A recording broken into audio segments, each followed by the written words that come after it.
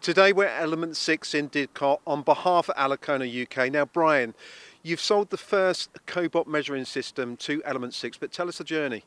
Yes, Mark. Um, uh, Element 6 has been a customer of Alicona for a number of years. They actually have two of our lab-based systems, but they wanted to move the measurement task into production. And along with the desires of Alicona to get into that market, we've been working with them, and we now have a working system working with an accumulator to measure tool wear in process. On that basis, let's go and talk to Wayne about the system itself.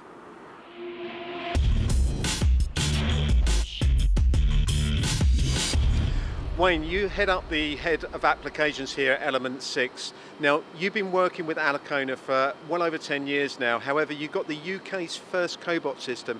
Could you tell me a little bit about the journey, but also what you do here? Yeah. Um, well, I guess the journey starts in, in, in Shannon in 2009 when, um, when Brian from Alicona sold us the, the first um, uh, G4 Alicona system.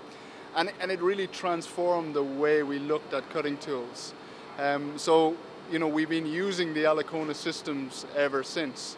Um, and the Cobot really is the next stage uh, in, in, that journey. What we're doing here is we're trying to develop uh, new cutting tool materials. Cutting tool materials based on diamond or its sister material, uh, cubic boron nitride.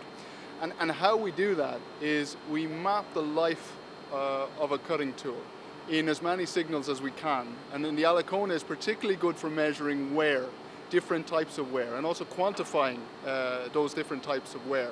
So that's what we do. Essentially, we uh, machine a workpiece material with a new tool material and monitor the wear, measure the wear at intervals along its life.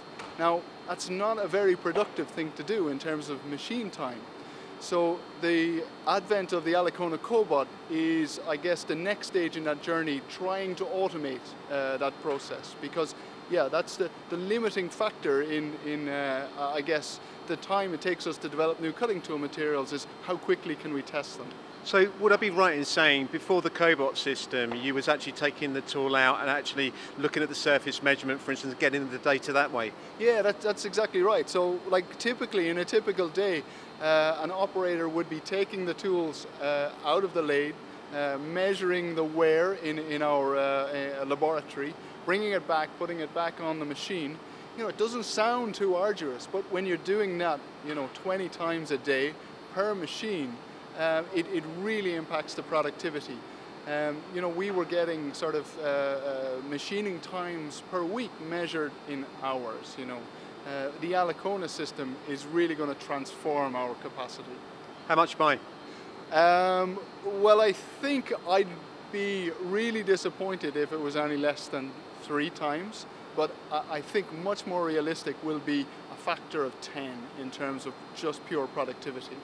So from you choosing this system, if you was in general manufacturing, I presume the Cobot system is not necessarily just about your, your business, it could be generally manufacturing.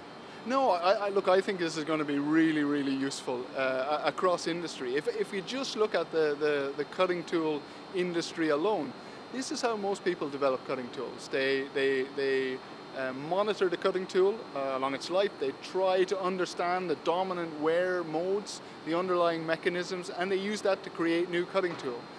And that, you know, that um, means in all cases, all people developing cutting tools need to do that same job. They need to take the tool out before it fails. They need to do that as much as possible to learn as much as possible uh, about the, the, the wear modes. From a general manufacturing point of view, the Cobot system could actually sort of measure anything rather than just tooling.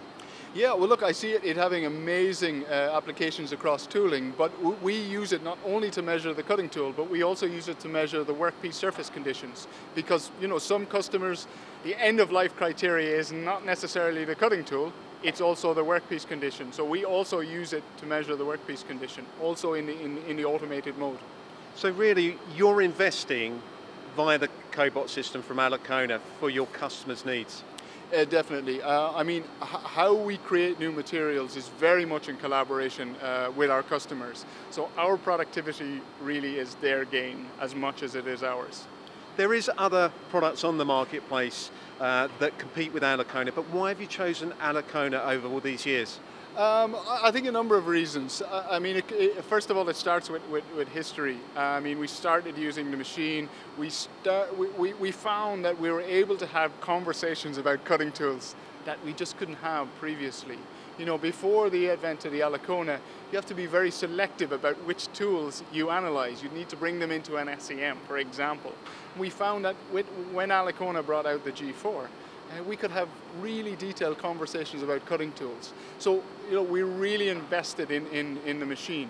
Um, and then the next stage was conversations at, at you know, at, at, high levels in Alicona. We, we, we explained to them our dream of automating this process. Um, so they were clear what we wanted to do. They, they, they understood that we love the system. Uh, they also understood that um, productivity was a big concern from us. So, you know, what they clearly showed at a very high level again in, in Alicona is that they understood the problem that we had and they committed to helping us to solve that problem. And is in-processing management the future? Um, for us, I hope so. I, I mean, look, the, the reason is we want everybody in, in, in this innovation center to be adding value. So doing uh, repetitive tasks don't add value.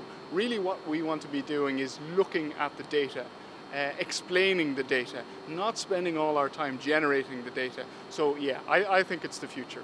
Well, investing in products is all about the future, and obviously you're demonstrating this here. Thanks very much for your time, Wayne. You're most welcome. Thank you.